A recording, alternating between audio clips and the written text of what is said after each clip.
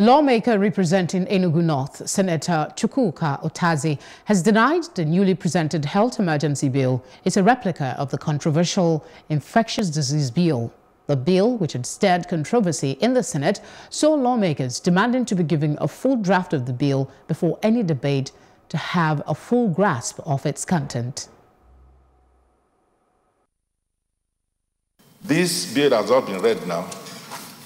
I would like to know the details and possibly receive a gazetted copy. And I'm sure those of my colleagues who would like to see the bill also want to have copies as well. Recall that we have a controversial bill in the House of Reps that has to do with the Quarantine uh, Act amendment.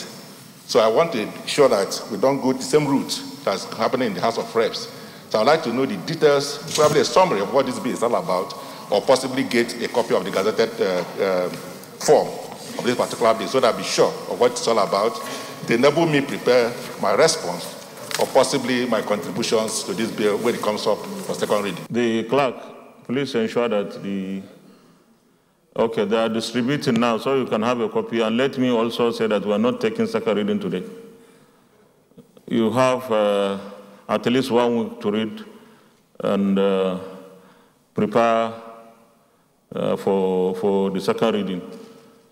I I, everybody should have a copy, please. This bill, I have started working on this bill for over two months now.